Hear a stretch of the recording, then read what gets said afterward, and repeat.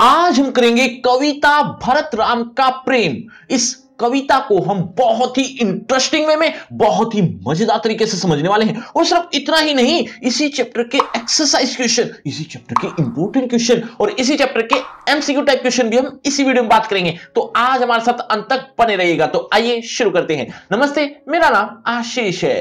देखो बच्चों, इस कविता को लिखा है तुलसीदास जी ने। तुलसीदास जी ने इस पूरी कविता में क्या बताया है? एक बार जल्दी से शॉर्ट में सुन लो, ताकि जब मैं लाइन बाय लाइन एक्सप्लेनेशन करूँ तो आपको ये चैप्टर ये पोयम बहुत अच्छे से समझ में आए। देखो, इसके नाम से ही पता चल रहा है भरत राम का प्रेम। यानी जब भरत राम का मिलाप हुआ था, तब उस समय भरत जी पर अपने प्रभु, अपने बड़े भाई श्री राम के प्रति कितना प्रेम निकला। प्रेम में क्या क्या वर्डिंग कहे, क्या कुछ उन्होंने बोला, ये सारी बातें हम इस पूरी कविता में पढ़ने वाले हैं। और साथ ही साथ एक दो बातें और भी हैं, वो भी हम इस कविता में हम पढ़ेंगे। लेकिन लेकिन लेकिन लेकिन इस कविता की शुरुआत कहाँ से हो रही है, वो भी आपको पता होना चाहिए। दरअसल जब चित्रकूट, जो कि एक स्थान का नाम, जहाँ श्री राम जी ने वनवास काटा काफ़ी हद तक। उस पवित्र स्थान पर जब भरत जी पहुँचे उनको मनाने के लिए तो उस समय क्या बातचीत हो रही है? ये बात सब लोगों के सामने हुई, या यूँ कह सकते हो कि बहुत से लोग, बहुत से मुनि, खासतौर पे मुनि वशिष्ठ जी भी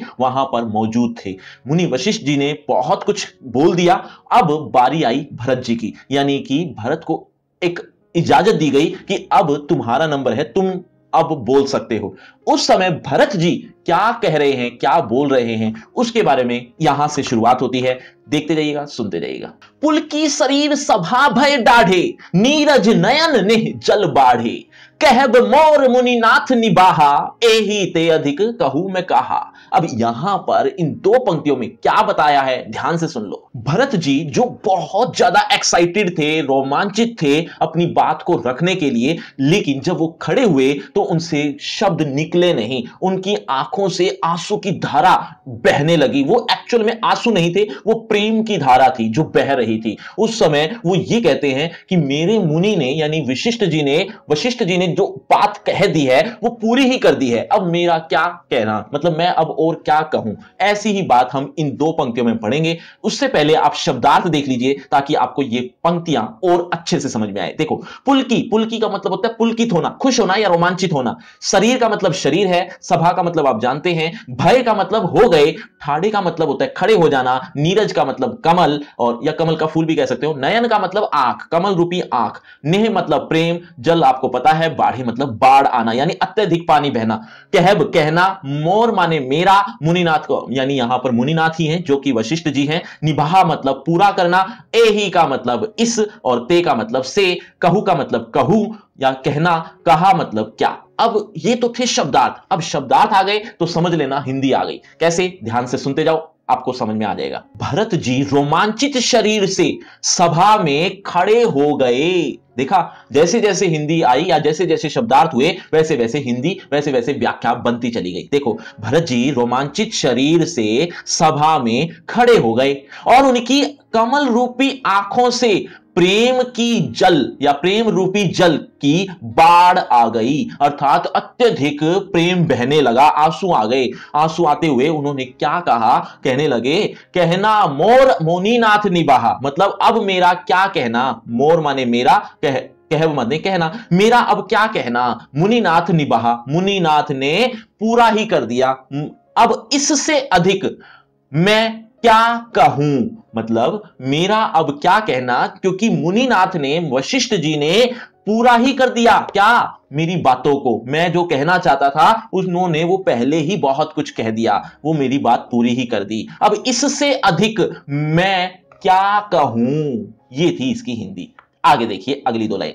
मैं जाना हूँ निजनाथ सुभाहू, अपराधी हूँ पर कोहू न काऊ मो पर कृपा स्नेहु बिसेखी, खेलत खुनिस ने कभऊ देखी। अब इन दो पंक्तियों में क्या बताया? पहले सुन लो, फिर शब्दार्थ, फिर इसकी व्याख्या। इस तरह से हम हर दो लाइन करेंगे। भरत जी इस दो पंक्ति में कहते हैं कि मैं जानता हूँ कि मेरे नाथ, यानी मेरे स्वामी, मेरे राम मेरे राम का स्वभाव मैं अच्छी तरह से जानता हूँ। इन्होंने तो कभी अपराधी पर भी अपराधी जो होते हैं ना, उन पर भी क्रोध नहीं किया। मुझ पर तो क्या क्रोध करते? मेरे ऊपर तो इनकी कृपा इतनी ज़्यादा थी, इतना ज़्यादा स्नेह था कि जब हम खेलते थे ना, जब बचपन में बचपन में खेलते हुए भी कभी भी इन्होंने अपने तरफ़ से अप्रसन्नता नहीं दिखाई। अर्थात कभी भी ऐसा कंपटीशन नहीं किया। मुझ पर हमेशा कृपा बरसाई है। यानी अगर मैं हार भी रहा होता था खेल में तो मुझे जिता दिया। ऐसा प्रेम, ऐसा स्नेह मुझे से वो हर बार करते थे। तो मैं इनका स्वभाव बहुत अच्छी तरह से जानता हूँ। ये बात कहते हैं इन दो पंक्ति में, लेकिन शब्दार्थ ज़रूरी है, इसीलिए ये भी सुनो। मैं तो मैं ही रह जाएगा। जाना का मतलब जानता हूँ, निज माने अपने। नाथ का नाथ, यहाँ पर प्रभु या श्री राम जी के लिए आया है नाथ। स्वभाव माने स्वभाव। तो क्या लाइन बनी? मैं जानता हूँ अपने श्री राम का स्वभाव। मैं अपने राम मैं अपने नाथ का स्वभाव जानता हूँ। अपराध अपराधयु पर कोहो न काहू। कोहो माने क्रोध काहू माने कभी। मैं, मैंने तो कभी इनको कभी अपराधियों पर भी क्रोध कभी करते नहीं देखा। अर्थात ये अपराधी पर भी क्रोध कभी नहीं करते। मोह पर कृपा स्नेह बिसेखी। मोह माने मुझ और स्नेहु माने स्नेह बिसेखी माने देखा है। मुझ पर तो मैंने बहुत स्नेह बहुत कृपा देखी है। किसकी? श्री राम की। किसके प्रति? भरत जी के प्रति। तो भरत जी कहते हैं कि मुझ पर तो इनकी इतनी कृपा, इतनी स्नेह देखी है मैंने। खेलत खुनिस। खुनिस का मतलब अप्रसन्नता, कभू का मतलब कभी भी। तो खेलते हुए भी, खेलते हुए कभी भी इन्होंने अप्रसन्नता न माने, नहीं देखी माने, देखी नहीं दिखाई। मतलब कभी भी अप्रसन्न नहीं हुए। ऐसा कभी नहीं लगा कि ये मुझसे कंपटीशन कर रहे हैं या स्पर्धा कर रहे हैं। ये मुझ पर हमेशा कृपा करते थे। यहाँ तक कि बचपन में भी, खेलते हुए भी, जहाँ बच्चे आपस में एक कंपटीशन की फीलिंग लाते हैं या एक दूसरे को हराना चाहते हैं। लेकिन श्री राम जी ने तो मुझ पर वहाँ पर भी अप्रसन्नता नहीं दिखाई। तो अब तो क्या दिखाएँगे वो? अर्थात श्री राम जी मुझ पर गुस्सा होंगे इस बात को लेकर कि ये मेरी वजह से वन गमन को हो चले गए, ऐसा मैं सोच भी नहीं सकता, क्योंकि ऐसा कभी हो ही नहीं सकता। श्री राम जी पर, श्री राम जी ने मुझ पर तो हमेशा कृपा ही बरसाई है। बच्चों, कवि का नाम मैंने क्या बताया था? एक बार जल्दी से कमेंट करके बताओ, देखना चाहता हूँ कितने बच्चे मेरी बातें बहुत ध्यान से सुन रहे हैं। आगे देखिए शिशुपंते परिहरे संगू किन्हीं मोर? मन भंगू। मैं प्रभु, कृपा रीति जी जो ही हारे हु, खेल जिता वही मोही। अब यहाँ इन दो पंक्ति में क्या बताया है? ध्यान से सुनो। बात वही है कि शिशुपन में, यानी कि जब हम छोटे थे, तब से इनका मेरा साथ हमेशा रहा है। इन्होंने मेरा साथ हमेशा दिया है। कभी भी मेरे मन को दुखी नहीं किया, कभी भी। अर्थात मैं इनकी वजह से कभी दुखी नहीं हुआ। हमेशा मुझ पर स्नेह रखते थे। और और और, इनका हृदय, का ढंग तो मैं बहुत अच्छे से जानता हूँ। ये जब खेल में भी अगर मैं हारता था तो ये मुझे हमेशा जितवाते ही थे। ऐसा है इनका स्वभाव। यही बात इस दो पंक्ति में पढ़ेंगे। शब्दार देख लीजिए। शिशुपन माने शिशुपन, यानी छोटेपन में। ते माने से, परे ही रहु मतलब छोड़ देना। संगु माने साथ। कभू का मतलब कभी भी किनी मतलब किसी। मोर माने मेरा। भंगू मतलब दुखी करना। इसके अलावा जी का मतलब हृदय, जो ही माने देखी। हारे हु का मतलब हारता हुआ, जिता वही, जितवा देना। मोही माने मुझे, अब ये तो थे शब्दार्थ। एक एक शब्द को पढ़ते हुए, इसकी हिंदी भी वैसी ही बन जाएगी। ध्यान से सुनते रहना। देखो, भरत जी कहते हैं कि शिशुपन से छोड़ा न साथ। मतलब बचपन में से ना, जब से, तब से लेकर आज तक मेरा इन्होंने कभी साथ नहीं छोड़ा। कभी भी कभू का मतलब कभी भी, मेरा या मेरा मन, यहाँ पर मन आया हुआ है तो कभी भी मेरा मन किसी भी अवस्था में दुखी नहीं किया। दुखी, न माने नहीं, यहाँ पर न आया हुआ है। न माने दुखी सॉरी न माने नहीं और भंगु मतलब दुखी करना। तो कभी भी इन्होंने मेरा मन किसी भी अवस्था में दुखी नहीं किया, अर्थात मुझे इनकी वजह से कभी दुख नहीं उठाना पड़ा, या मैं, मेरा जो मन है, वो कभी दुखी नहीं हुआ इनकी वजह से। मैं प्रभु कृपा रीति मतलब मेरे प्रभु की तो कृपा इतना, इतनी रही है, या मेरे प्रभु की रीति, या रीति मतलब होता है ढंग।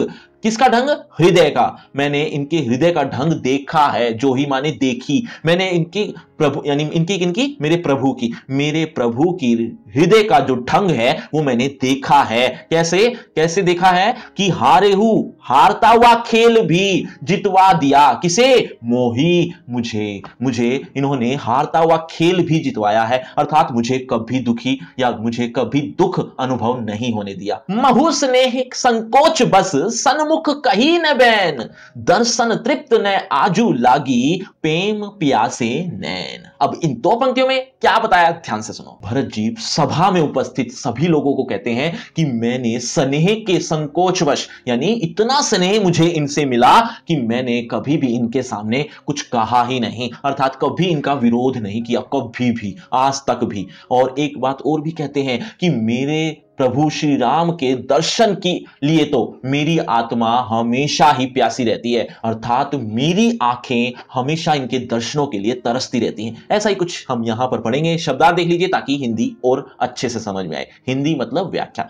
महू का मतलब मैंने भी, स्नेह मतलब स्नेह, यानी प्रेम। संकोच संकोच लिखा हुआ है, इसका मतलब होता है संकोच, सन्मुख। अच्छा ये जो अलग अलग वर्डिंग लिखी गई है अजीब अजीब आपको लग रही होंगी, समझ में भी कम आ रही होंगी। दरअसल ये अवधि भाषा में लिखी गई कविता है। तो अवधि भाषा जिसकी हमें व्याख्या करनी है, जिसकी हमें हिंदी करके व्याख्या करनी है। तो ऐसा ही कुछ हम कर रहे हैं, ध्यान से सुनते जाइएगा। महू का मतलब मैंने भी, स्नेह का मतलब स्नेह, सकोच मतलब संकोच, सन्मुख मतलब सामने, बैन मतलब बोला, दर्शन का मतलब दर्शन, तृप्त का मतलब तृप्त, लेकिन त्रिपित का मतलब यहाँ त्रिपित लिखा हुआ है, लेकिन इसका मतलब होता है तृप्त, और यहाँ इसका दूसरा मतलब होता है संतुष्ट होना। आजुला की आज तक। प्रेम मतलब प्रेम प्यासे मतलब प्यासे, नैन मतलब आँखें। अब इसकी हिंदी देखो, कवि कहते हैं कि, कवि के द्वारा कही गई, भरत ने क्या बात कही? कवि के माध्यम से भरत जी ने क्या कहा? कवि के माध्यम से का मतलब क्या है? क्योंकि कवि ने यहाँ पर लिखी है तुलसीदास जी ने ये कविता लिखी है। इसीलिए इसीलिए इसीलिए अब हम ऐसा लिख सकते हैं कि कवि के माध्यम से भरत जी कह रहे हैं। कहे भरत जी रहे हैं, लेकिन लिखी तो कवि ने है ना, बताया तो कवि ने है तो कवि के माध्यम से कह सकते हैं तो क्या कहा? महू का मतलब मैंने भी, स्नेह मतलब स्नेह मैंने भी स्नेह के संकोच के वश में होकर, अर्थात मुझे इतना स्नेह मिला कि मैंने इनके सामने कभी भी, कहीं भी बोला ही नहीं, बोला न माने नहीं, बोला ही नहीं, क्योंकि मेरी हिम्मत ही नहीं थी, मुझे इतना स्नेह मिल रहा था यहाँ से। दर्शन त्रिपित मतलब मेरी आँखें आँखें आगे आएगा वैसे तो लेकिन यहाँ से हम पढ़ रहे हैं, देखो, दर्शन, इनके दर्शनों से तृप्त, न माने नहीं, आज तक आज तक भी मेरी आँखें इनके दर्शनों से तृप्त नहीं हुई है, अर्थात संतुष्ट नहीं हुई है। मेरा मन करता है कि मैं इन्हें देखता ही जाऊँ, देखता ही जाऊँ, इनके दर्शनों की लालसा मेरे मेरे मन में हमेशा रहती है। मेरी आँखें, इनके प्रेम की प्यासी हमेशा रहती हैं। ये बात इस दो, दूसरी लाइन में लिखी थी। आगे देखिए। विधि न सके हु सही मोर दुलारा, नीच बीचू जननी मिस पारा। यह कहत मोही, आजू ने शोभा, अपनी समझी साधु सुचि को भा। भरत जी कहते हैं कि श्री राम जी ने मेरे प्रति इतना दुलार दिखाया है, इतना प्रेम दिखाया है। लेकिन विधाता को ये बात पसंद ही नहीं आई, ये बात अच्छी ही नहीं लगी। उन्होंने क्या किया? उन्होंने मेरी माता को बीच में लेकर, या यूँ कह सकते हो कि मेरी माता के बहाने हमें अलग कर दिया। दरअसल, माता के प्रति भरत जी के क्या विचार हैं, वो अब शुरू होते हैं। माता मतलब कैकई। भरत जी अपनी माता कैकई के प्रति क्या विचार रखते हैं, वो ध्यान से सुनो। जो इस दूसरी लाइन में कहा गया है, या यहाँ से स्टार्ट हुई है, कहते हैं कि अगर मैं उनको बुरा कहूँ और अपने आप को पवित्र साधु कहूँ कि वो बुरी हैं और मैं पवित्र साधु हूँ। ये कहना मुझे शोभा नहीं देता। ऐसा दूसरी लाइन में लिखा गया है। लेकिन क्यों नहीं देता शोभा? इसका क्या कारण है? वो तो हम आगे पढ़ेंगे आने वाली पंक्तियों में। अभी जितना पढ़ा, जितना समझा, उसके शब्दार देख लीजिए ताकि और अच्छे से समझ में आए। देखो, विधि का मतलब विधाता और सकयु का मतलब सका, यानी सकना या सकता। सही का मतलब सहन, मोर माने मेरा। दुलारा मतलब दुलार। बिचू माने बीच में जननी माता जननी का मतलब माता, मिस का मतलब बहाने से, पारा मतलब लेकर, यहू का मतलब यह है, मोहि मुझे, सुचि माने पवित्र, भा माने हुआ। बाकी शब्दार्थ आसान थे, आप समझ जाएँगे। देखो, विधाता न सके, यानी क्या नहीं सके, सहन। सहन न कर सके, किस बात को लेकर? मेरा दुलार। मोर दुलारा मतलब मेरा दुलार देकर विधाता ये बात सहन कर ही नहीं सके कि श्री राम इनको इतना दुलार कैसे कर रहे हैं। ये बात विधाता से सहन ही नहीं हुई। नीच बीचू नीच बीचू जननी जननी यानी माता माता को बीच में बहाने से लेकर हमें अलग कर दिया। हमें अलग कर दिया, ये अपनी तरफ़ से लिख लेना। लेकिन इसका अर्थ ये हुआ कि माता को बहाने से बीच में लेकर या इनका, माता का बहाना लगाकर हमें अलग कर दिया। किसने? किसने? विधि ने, विधाता ने। चलिए, आगे देखिए। यहू कहत मोही आजू ने शोभा। यह कहते हुए मुझे आजू ने शोभा। ये बात मुझे शोभा नहीं देती। क्या शोभा नहीं देती? यानी अच्छी नहीं लगती। क्या अच्छी नहीं लगती? कि अपनी समझी। यानी मैं अपनी समझ में तो मैं साधु हूँ। और मेरी माता कुबुद्धि है। अर्थात उसमें बुद्धि नहीं है। ये बात आगे आएगी, यहाँ पर आएगी। देखते जाइएगा। मातु मंदी में साधु सुचाली और अस आनत कोटि कुचाली। फरई की कोदव बाली सुसाली, मुक्ता प्रसव की संबुक काली अब ये दो लाइन में क्या बताया है? उससे पहले स्वभाव का मतलब मैंने क्या बताया था? थोड़ी देर पहले ही बताया था। एक बार जल्दी से कमेंट करके बताओ। देखना चाहता हूँ कितने बच्चे मेरी बातें बहुत ध्यान से सुन भी रहे हैं और याद भी कुछ कुछ होता जा रहा है। देखते हैं। लेकिन अब इन दो पंक्ति में ध्यान से सुनो क्या कहा। भरत जी कहते हैं कि मैं तो पवित्र साधु हूँ और मेरी माता को बुद्धि है, अर्थात उसमें बुद्धि नहीं है। उस की बुद्धि मारी गई, खत्म हो गई है। ऐसा कहना मेरे लिए करोड़ों दुराचार है, अर्थात मेरा व्यवहार इससे बेकार हो ही नहीं सकता। अगर मैं ऐसा कहता हूँ तो क्या कभी मोटे चावल से उत्तम चावल निकल सकता है? मतलब एक एक प्रकार होता है कोदव। चावल का ही एक प्रकार है। वो क्या कोदव सुसाली उत्पन्न कर सकता है? कोदव का मतलब मोटा चावल, सुसाली का मतलब होता है एक उत्तम धान या उत्तम चावल। क्या बुरा चावल अच्छा चावल उत्पन्न कर सकता है? नहीं। क्या काली गोघा क्या कभी मोती उत्पन्न कर सकता है? नहीं। अर्थात ये सब चीज़ ऐसी हैं जिनसे कोई अच्छी चीज़ उत्पन्न नहीं हो सकती। तो क्या मैं अपनी माता को बेकार बताकर और मैं क्या अपने आप को उत्तम बता सकता हूँ? क्योंकि मैं भी तो उनमें से ही उत्पन्न हुआ हूँ। तो क्या मेरी माता अगर मैं पवित्र हूँ तो क्या मेरी माता या मे, मेरी माता को अगर मैं बेकार कहूँ तो क्या मैं पवित्र हो सकता हूँ? ऐसा कभी नहीं हो सकता। जैसे मोटे चावल में से कभी उत्तम धान उत्पन्न नहीं हो सकता। ऐसा ही कुछ यहाँ पर हम पढ़ेंगे। देखिए, मातु मतलब माता मंदी का मतलब कम बुद्धि हो जिसमें सुचाली माने सदाचारी। उर का मतलब हमेशा के लिए याद रख लो बार बार आता है। उर मतलब हृदय। अस माने यह, आनत माने लाना, कोटि माने करोड़ों, कुचाली माने दुराचार। अब पहली लाइन की हिंदी देख लो, फिर आगे की बात पढ़ेंगे। माता को कम बुद्धि कहना, मैं साधु सुचाली। मैं तो साधु हूँ, सदाचारी हूँ। अर्थात मैं तो बहुत अच्छे आचरण वाला और मेरी माता कम बुद्धि वाली है।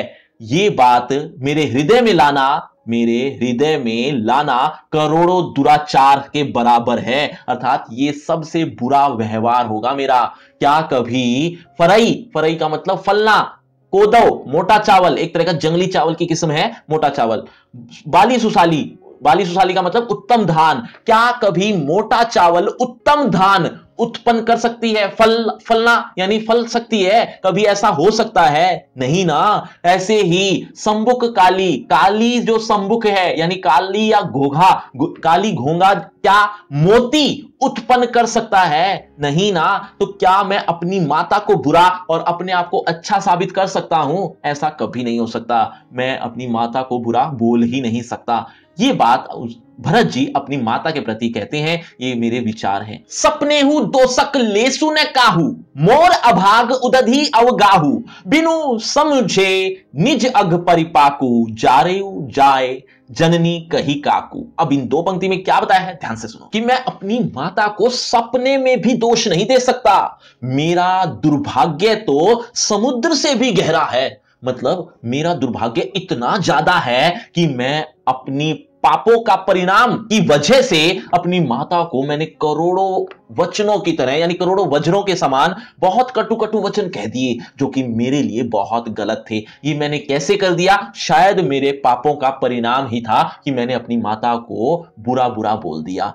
जो या यूँ कह सकते हो कि मैंने अपनी माता को जलाया है जलाया है या यूँ कहें कि तपाया है, उनको खरी खोटी सुना दी है तो ये मेरा दुर्भाग्य ही था। ये दुर्भाग्य ऐसा था कि मेरा दुर्भाग्य समुद्र से भी गहरा हो, ऐसा था मेरा दुर्भाग्य बहुत ज़्यादा मात्रा में। और ये सब मैं कैसे कर पाया? शायद मेरे पापों का परिणाम ही था। जितने भी मैंने पाप किए हैं, उसका फल ही मुझे मिलना ही था, इसीलिए मैंने ऐसे ऐसे कटु वचन कह दिए। तो ऐसा ही कुछ हम पढ़ेंगे इन दो पंक्तियों में। शब्दार्थ देख लीजिए ताकि आप और अच्छे समझ में आए व्याख्या। देखिए, सपने हूँ, सपने में भी दोषक दोष, लेसु जरा सा, न माने नहीं, काहू माने कभी भी मोर माने मेरा, अभाग माने दुर्भाग्य उदधि माने समुद्र, अवगाहू अत्यधिक गहरा।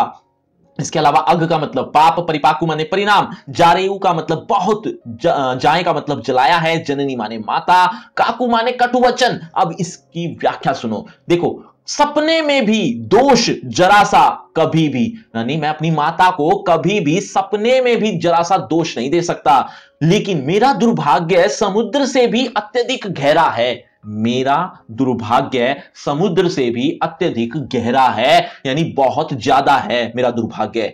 जिस, जिससे क्या हुआ? बिनु समझे, बिना समझे ही, अपने पापों का परिणाम जानकर, मैंने बिना समझे अपने पापों का परिणाम की वजह से मैंने क्या किया? अपनी माता को कटु वचन कहकर बहुत जलाया है, बहुत तपाया है, बहुत कुछ बुरा कह दिया है, ऐसा यहाँ पर लिखा था। आगे देखिए, हृदय हेरी हारे हु सब ओरा, एक ही भांति भले ही भल मोरा। गुर गोसाई साहिब सिय रामू, लागत मोही निक परिणामो। अब इन दो पंक्ति में क्या बताया? ध्यान से सुनो। भरत जी कहते हैं कि मेरा हृदय सब ओर से हार गया है। मतलब मैं बहुत कुछ कर करके हार चुका हूँ, इससे ज़्यादा मुझसे कुछ न हो पाएगा। मेरा भला तो सिर्फ़ एक ही प्रकार से है। अब मेरा भला एक क्या है? वो एक ही तरह से है। वो है कि मैं अपने गुरु को साधु समझूं और मेरे श्री राम और सीता जी को मैं अपना भगवान समझ लूँ। बस, इससे ज़्यादा मुझे मेरा भला नज़र नहीं आ रहा। मेरा भला, मेरा अच्छा भले का परिणाम सिर्फ़ यही है। ये बात हम यहाँ इन दो पंक्तियों में पढ़ेंगे। देख लीजिए। हृदय का मतलब हृदय में और हेरी का मतलब देखकर हारे हु, हार गया है सबोरा मतलब सबोर एक ही का मतलब पता ही आपको, भांति का मतलब प्रकार, भले ही माने निश्चित ही, भल यानी भला मोर माने, मेरा, मोरा मतलब मेरा, गुरु गुरु का मतलब गुरु, गोसाई का मतलब साधु, साहिब का मतलब ईश्वर, सिंह, रामू, सीताराम और इसके अलावा नीक का मतलब सही परिणामों परिणाम। अब देखिए हिंदी देखो, इसकी व्याख्या देखो। देखो, मेरा हृदय देखकर हारे हु हार गया है, सब ओरा, सब ओर। मतलब मेरा हृदय सब ओर देखकर हार गया है। एक ही प्रकार से, निश्चय ही एक ही प्रकार से मोरा, मेरा भला हो सकता है। भल माने भला। एक ही प्रकार से, निश्चित ही में एक ही प्रकार से मेरा भला हो सकता है। वो एक ही प्रकार कौन सा है कि मैं अपने गुरु को गोसाई समझू? गोसाई मतलब साधु। और सियाराम, यानी सीताराम जी को मैं ईश्वर समझ लूँ। बस, इससे ही ज़्यादा मेरा भला कुछ न है, कुछ नहीं है। लागत मोही नीक परिणाम लगता है मोही मुझे, नीक माने सही परिणाम मतलब परिणाम। ये परिणाम मुझे सही लगता है। कौन सा परिणाम? कि मैं अपने गुरु को साधु समझूं और सीता और राम जी को ईश्वर समझ लूँ। बस। आगे देखिए। बच्चों, काली घोंगा क्या उत्पन्न नहीं कर सकती? कितने बच्चे जानते हैं इस प्रश्न का उत्तर? एक बार जल्दी से कमेंट करके बताओ। देखना चाहता हूँ कितने बच्चे मेरी बातें बहुत ध्यान से सुन पा रहे हैं। आगे देखिए। साधु सभा, गुरु प्रभु, निकट कहे हु सुथल सती भाहु। प्रेम प्रपंचु की झूठ फुर, जान ही मुनि रघुराहु। अब इन दो पंक्ति में क्या बताया? ध्यान से सुनो। कवि सॉरी भरत जी दो पंक्ति में कहते हैं कि यह एक पवित्र स्थान है। कौन सा? चित्रकूट, जहाँ, वहाँ उनका मिलन हुआ, भरत राम जी का मिलन जहाँ हो रहा है, उस स्थान का नाम है, उस आश्रम का नाम है चित्रकूट। तो उस चित्रकूट को भरत जी कहते हैं, यह है एक पवित्र स्थान है। क्यों? क्योंकि मेरे प्रभु भी यही हैं और मेरे साधु, यानी मेरे गुरु भी यही हैं। तो इनको मैं साक्षी मानकर मैं ये कहना चाहता हूँ कि क्या मेरा प्रेम झूठ है या सच? मेरा प्रेम धोखा है या सिर्फ़ और सिर्फ़ प्रेम ही है। ये बात तो मेरे गुरु और मेरे श्री राम जी अच्छी से या अच्छी प्रकार से जानते हैं। ये बात यहाँ इन दो पंक्ति में लिखा है। देखिए, साधु सभा गुरु प्रभु निकट कहू। कहू का मतलब कहा है, सुथल का मतलब पवित्र स्थान, सती बाहु मतलब शुद्ध, पवित्र। प्रपंचु माने छल कपट झूठ का मतलब झूठ, फुर का मतलब सत्य, और मुनि वशिष्ठ जी को कहा है, रघुराहु मतलब श्री राम जी। अब कवि सॉरी भरत जी कहते हैं कि साधु सभा में मेरे गुरु और मेरे प्रभु निकट हैं।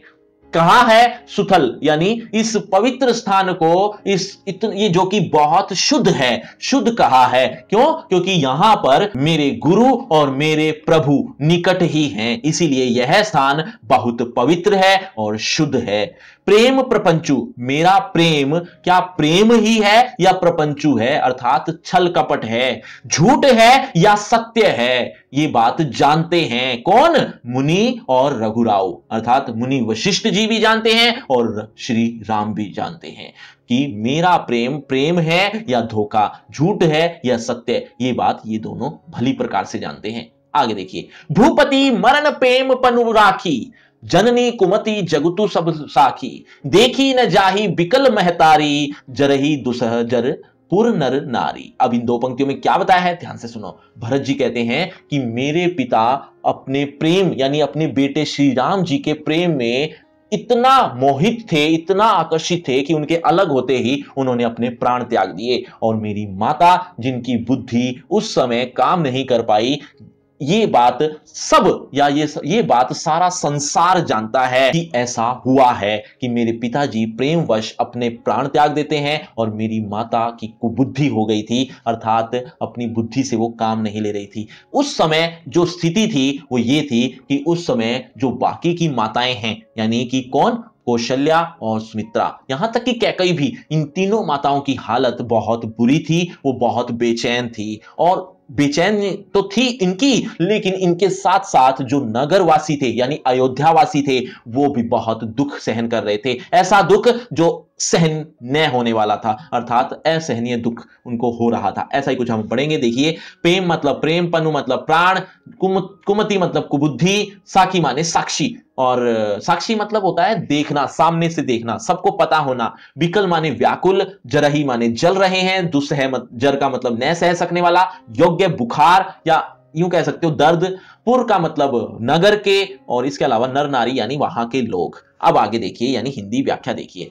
कि भूपति भूपति का मतलब होता है राजा। लेकिन राजा कौन? राजा दशरथ की बात हो रही है। राजा दशरथ जी मृत्यु के निकट हो गए। किसकी वजह से? अपने प्रेम रूपी प्राण को खोने की वजह से। यानी श्री राम को खोने की वजह से वो अपने प्राण को त्याग देते हैं। जननी, मेरी माता मेरी माता को कुबुद्धि हो गई। ये बात जगतु सब साखी। मतलब ये बात सारा संसार, जगतु माने जगत। ये संसार, ये जगत सब जानता है। कौन सी दो बातें? ये बातें मेरे पिता की और मेरी माता की। ये बातें सारा संसार जानता है। देखी न जाही, देखा नहीं जाता। बेकल माने व्याकुल, महतारी का मतलब माताएँ। कौन सी माताएँ? जो उनकी तीन माताएँ थी। तो तीनों माताओं की व्याकुलता हमसे देखी नहीं जाती। देखी नहीं गई। जरही जरही यानी जल रहे हैं। कौन? नगर के नर नारी। नगर के नर नारी ऐसा दुख सहन कर रहे हैं जो उनसे सहन नहीं हो रहा। वो आपके बिछड़न में जल रहे हैं, अर्थात दुखी हो रहे हैं। ये बात इन दो पंक्ति में लिखी थी। आगे देखिए। मही सकल अनर्थ, कल कर मूला सो सुनी समझी सही हु सब सूला। सुनी बन गवनु किन रघुनाथा करी मुनि बेस, लखन सिया था अब इन दो पंक्ति में क्या बताया? ध्यान से सुनो। भरत जी, इन सब घटनाओं का कारण अपने आप को मानते हैं, कहते हैं कि इन सब चीज़ों का जिम्मेदार मैं हूँ। ये जो अनर्थ हुआ है, इसका जिम्मेदार मैं हूँ। अगर मैं ना होता तो मेरी माता मेरे लिए, मेरे राज्य अभिषेक के लिए इतना सब कुछ न करती। तो ये सब जो अनर्थ हो रहा है या हुआ है, इन सब का जिम्मेदार मैं हूँ। और ऐसा दुख अब मैं सहन कर रहा हूँ कि जब मुझे यह पता चला कि मेरे प्रभु श्री राम लक्ष्मण और सीता जी के साथ वन को चले गए, वो भी मुनि का वेशभूषा धारण करके। ऐसा जब मैंने सुना तो मेरा जो दुख था, वो असहनीय था, बहुत ज़्यादा मात्रा में था। ये बात हम इन दो पंक्तियों में पढ़ेंगे। शब्दार्थ देख लीजिए। देखो, मही का मतलब मैं ही, सकल माने सभी, अनर्थ माने अनर्थ। कर मूला जिम्मेदार। सो माने वह सही माने सहन किया, सुला माने दुख। वन मतलब वन, गौनु माने चले गए, रघुनाथा यानी श्री राम बेस माने वेश, सिया माने सीता जी देखो अब इसकी हिंदी क्या बनेगी। भरत जी कहते हैं कि मैं ही सभी अनर्थ का जिम्मेदार हूँ। मैं ही सभी अनर्थ का जिम्मेदार हूँ। सो वह मैंने ये सुनकर समझ लिया या सहन किया सब दुखों को। क्या सुनकर? ये नीचे वाली लाइन जो लिखी हुई है, देखो, सुनी वन, सुना जब मैंने कि वन को चले गए। कौन? रघुनाथा, यानी श्री राम श्री राम जी जब वन को चले गए, कैसे गए? करी मुनिवेश। मुनिवेश को करके, यानी धारण करके, लक्ष्मण जी और सीता जी के साथा, यानी साथ। लक्ष्मण और सीता जी के साथ मुनि वेश धारण करके श्री राम वन को चले गए हैं। ये जब मैंने सुना तो मैंने बहुत दुख सहन किया।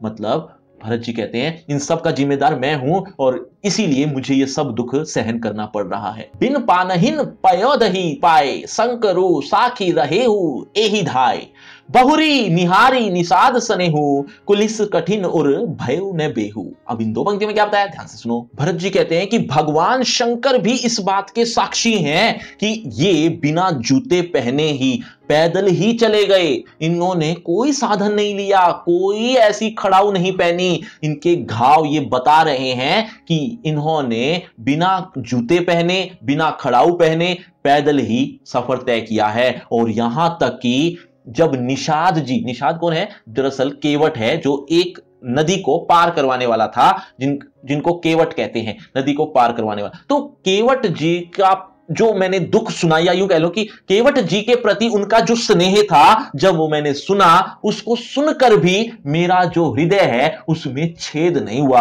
मतलब मैं कितना कठोर हूँ, इस बात से अंदाज़ा लगता है कि मैंने उनकी ये सब बातें जब सुनी कि उनके पैरों में घाव थे, इस तरह की जब मैंने बातें सुनी तो मेरे हृदय में कुछ भी अनुभव नहीं हुआ। मेरा हृदय इतना कठोर है कि अब तक तो मैं, मैंने भी अपने प्राण त्याग देने थे। इतना दुख हो जाना चाहिए था मुझे, लेकिन ऐसा कुछ नहीं हुआ। मेरा हृदय कितना कठोर है, ऐसा भरत जी कहते हैं। इन दो पंक्ति में देखिए, बिन पाना ही यानी जूते या खड़ाऊ भी कह सकते हो। बिना जूते पैदल ही पाए चले गए। शंकरु, भगवान शिव साक्षी हैं, देख रहे हैं। यह घाव यह घाव के भगवान साक्षी हैं। बहुरी निहारी, बहुत देखकर, यानी बहुत देखा मैंने। क्या देखा? केवट के स्नेह, केवट का स्नेह मैंने इतना देखा। कुलिस, वज्र के समान।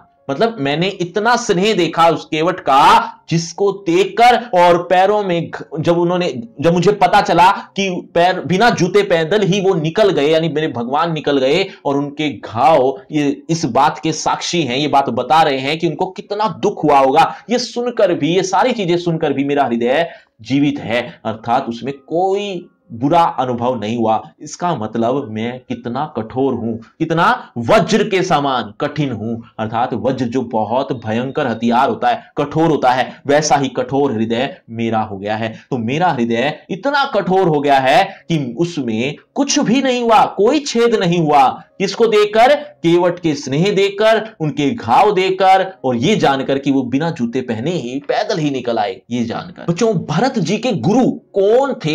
एक बार जल्दी से कमेंट करके बताओ। देखना चाहता हूँ कितने बच्चे अभी तक भी मेरी बातें बहुत ध्यान से सुन रहे हैं। जल्दी से एक बार कमेंट करके बताओ। देखना चाहता हूँ। जल्दी से जल्दी से जल्दी से। अब आगे देखिए। अब सब, आखिन देखो आई, जिहत, जीव जड़ सभई सहाय जिन ही निरखी मग सापिन बिछी तजही विषम विषु तापस तीछी। अब ये जो अजीब से शब्द आपको दिख रहे हैं, इसकी व्याख्या आसान है, बस आपको शब्दार्थ आने चाहिए। शब्दार्थ क्या होंगे, वो भी बताऊँगा, लेकिन उससे पहले एक बार मुझसे सुन लो, इन दो पंक्ति में क्या कहा। भरत जी कहते हैं कि ये सब मैं अपनी आँखों से देख रहा हूँ, और मेरे दुर्भाग्य ने मुझे जीवित रखा है। अभी तक भी जीवित हूँ मैं, ये मेरा कितना बड़ा दुर्भाग्य है। मेरा दुर्भाग्य कितना बलवान है कि मैं अभी तक जीवित हूँ। अरे, इतना दुख देखकर तो सांप और बिच्छू, जो कि बहुत जहरीले होते हैं, वो भी अपना जहर छोड़ दें, वो भी अपना क्रोध त्याग दें, वो भी इस समय में, ऐसे दुख के समय में, कभी क्रोध नहीं करते,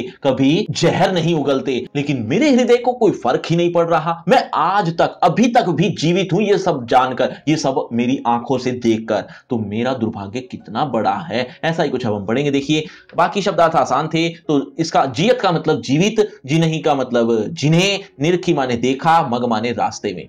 त, आ, सापिनी बिच्छी यानी सांप और बिच्छू सांप और बिच्छू तजे ही त्याग देना विषम माने भयंकर और इसके अलावा विषु का मतलब जहर तापस माने क्रोध तिछी माने तीव्र यानी तेज। क्या लिखा है कि अब सब आँखों से देखकर भी मतलब मैंने अपनी आँखों से देखकर भी मेरा जीव जीव मतलब जीवित होना, जियत माने जी रहा है। मेरा जीव जीवित है, जड़ सबई सहाय मतलब ये सब कठोर बातें मैं सहन कर ली, मैं सब कुछ सहन कर पाया ये मेरा कठोर भाग्य ही था जिससे, जिसकी वजह से मेरा जीव आज भी जीवित है, अर्थात मैं आज भी ज़िंदा हूँ। मैं अपनी आँखों से देखकर भी जीवित हूँ। ये सब दुख देखकर, जिन्हें देखी मतलब जिन्हें देखकर, इतना दुख देखकर तो रास्ते के सांप और बिच्छू भी त्याग देते हैं। क्या त्याग देते हैं? अपना भयंकर तेज जहर और क्रोध। अपना तेज भयंकर जहर और क्रोध त्याग देते हैं। क्या देखकर? ऐसा देखकर। क्या दे, ऐसा? ये सब दुख देखकर। तो वो सांप और बिच्छू जो रास्ते के हैं वो भी अपना क्रोध और जहर त्याग दें अर्थात छोड़ दें। वो भी ऐसे समय में ये चीज़ नहीं करते। और मेरा कठोर भाग्य ये है कि मैं जीवित हूँ इस सबको देखकर इंसान हूँ फिर भी और मेरे भ्राताओं के साथ ये सब चीज़ें हो रही हैं फिर भी मैं ये जानकर फिर भी मैं मैं तक रखना ये सब जानकर जीवित हूँ, ये मेरा कितना बड़ा दुर्भाग्य है। आगे देखिए ते रघुनंदनु, लखनऊ सिया अनहित लागे जाही, तासु तने तजी, दुस्सह दुख देव सहावई कहाई। अब इन दो पंक्तियों में भरत जी कहते हैं कि श्री राम, लक्ष्मण और सीता जी जिनको ये सब शत्रु लगते हैं, कौन? माता कैकई को। जिनको ये सब शत्रु लगते हैं, उनके पुत्र, यानी मैं, भरत भरत, यानी कैकई के पुत्र, भरत को, भरत, ये सब दुख कैसे सहन करेगा? ये बात अगली दो लाइन में लिखी थी, और ये रामचरित मानस से, ये जो लिखा है, इसका मतलब ये सब पंक्तियाँ रामचरित मानस, जो कि बहुत बड़ा ग्रंथ है उससे ली गई हैं। देखिए इसकी शब्दार्थ। तेई माने वे, रघुनंदनु का मतलब रघुनंदन, यानी कि श्री राम लक्ष्मण माने लक्ष्मण, सिया माने सीता जी अनहित, जिस जो भला न हो, यानी बुरा या दुश्मन, लागी जाही, लगते हैं। बस इतना ही था ये। तासु माने उनके, तन्य माने पुत्र, उनके पुत्र कौन? कैकई के पुत्र, यानी भरत जी। तजी, त्याग दी, त्याग कर, यानी छोड़कर दुस्सह माने असहाय, दुख का मतलब दुख, सहावई का मतलब सहन। का ही माने कैसे कैसे सहन करेगा? दोनों लाइनों की देखो हिंदी।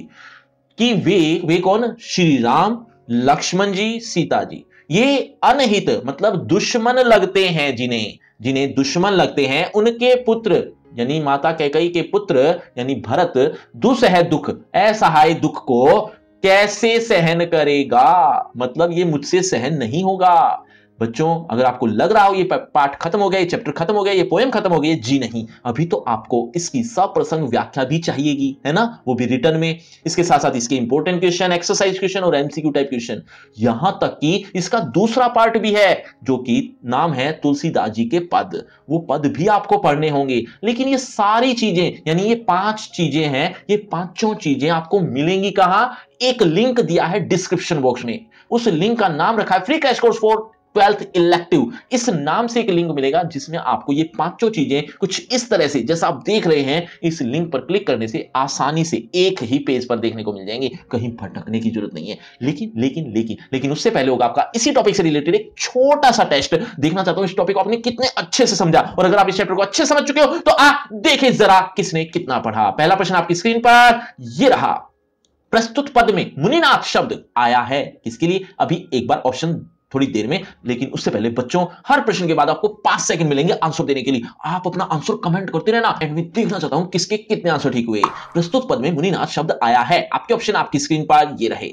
गुरु विश्वामित्र के लिए ऑप्शन बी गुरु वशिष्ठ के लिए ऑप्शन सी राजा जनक के लिए ऑप्शन डी राम के लिए। आपके पाँच सेकंड शुरू होते हैं। अब पाँच, चार, तीन, दो एक ज़ीरो, सही उत्तर ऑप्शन बी, गुरु वशिष्ठ के लिए। चलिए बच्चों, अगले प्रश्न की तरफ़ अगला प्रश्न। भरत के नेत्र किसके दर्शन से तृप्त नहीं हुए थे? आपके ऑप्शन, वशिष्ठ मुनि के बी के कई के सी स्वामी श्री राम के डी स्वयं के। पाँच, चार तीन, दो, एक, ज़ीरो। सही उत्तर ऑप्शन सी। स्वामी श्री राम के। चलिए बच्चों, अगले प्रश्न की तरफ़ अगला प्रश्न। भरत की मनोदशा कैसी थी? आपके ऑप्शन ए प्रसंचित बी जोशीला सी, मायूस, डी, आत्मग्लानी परक। पाँच, चार, तीन, दो, एक, ज़ीरो। सही उत्तर ऑप्शन डी, आत्मग्लानी परक, यानी गिल्टी महसूस हो रही थी। चलिए, अगले प्रश्न की तरफ़। भरत ने चित्रकूट की सभा में किस विषय पर बोला? आपके ऑप्शन ए, वन जीवन के बारे में, बी अपने और राम के स्नेह के बारे में, सी वनवास के दौरान घटित हुई घटनाओं के बारे में, डी वशिष्ठ मुनि की महिमा के बारे में। पाँच तीन दो एक। ज़ीरो सही उत्तर है ऑप्शन बी तो बच्चों, ये है आपका रिपोर्ट कार्ड ध्यान से देख लीजिए, पढ़ लीजिए। और हाँ आपके टोटल मार्क्स कितने हैं, ये कमेंट करना मत भूलना। और आपकी क्लास रिलेटेड एक फ्री क्रैश कोर्स आ गया, जो कि बिल्कुल फ्री है। लिंक आपको डिस्क्रिप्शन में सबसे ऊपर मिल जाएगा। इस लिंक में आपको ए टू जेड सिलेबस एक ही पेज पर देखने को मिल जाएगा।